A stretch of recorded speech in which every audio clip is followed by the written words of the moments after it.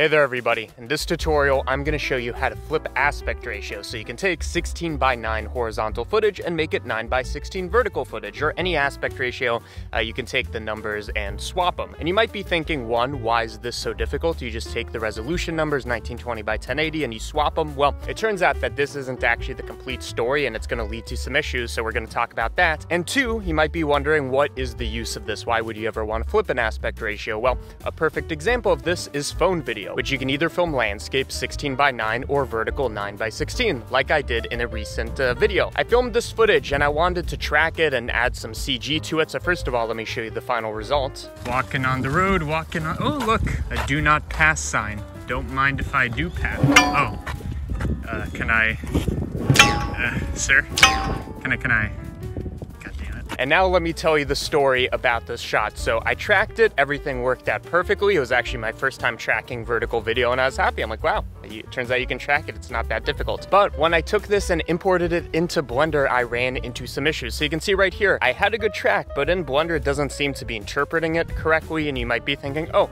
of course, in Blender, you're still in a 16 by 9 aspect ratio. It's horizontal, even though it's supposed to be vertical. So I took the resolution numbers, I swapped them exactly like you'd expect, and this is what happens. So we are vertical now, 9 by 16, but the track is somehow incorrect. So there's something that is missing and is nuanced here, and it took me a long time to actually figure out what that is. So as a hint, let's take the background video, that which is projected in the background, and let's make it a bit bigger. So I'm gonna scale it by 1920 divided by 1080. In other words, the aspect ratio 1.778. And you can see that when I do this scaling, all of a sudden, the vertical thing, it's still vertical, is now tracking correctly, uh, but with a bit of loss of information. It's kind of scaled in on the frame it doesn't have the whole thing. So the question is, how do we kind of scale our camera accordingly, kind of doing the same thing so we now have the complete footage? Well, your first instinct might be, okay, well now we can mess with the focal length. We can kind of zoom out this camera more. And yes, this does kind of contain all the trackers inside of the shot. But now, even though the track looks correct, it is a tiny bit off and you've changed how much you're zoomed in and out. That's gonna mess with things. So this is not correct. It turns out that the setting I was looking for and you are looking for to flip aspect ratios is the sensor size. So you go to the sensor size, you swap this thing to vertical.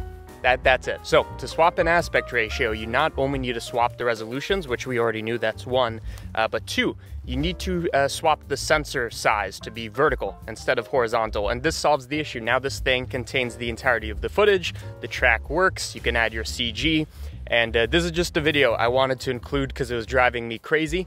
And I don't know if anybody's made a, a uh, tutorial on this. So hopefully uh, somebody found this useful and I'm gonna be tracking more vertical phone video because it looks more found footagey, I think.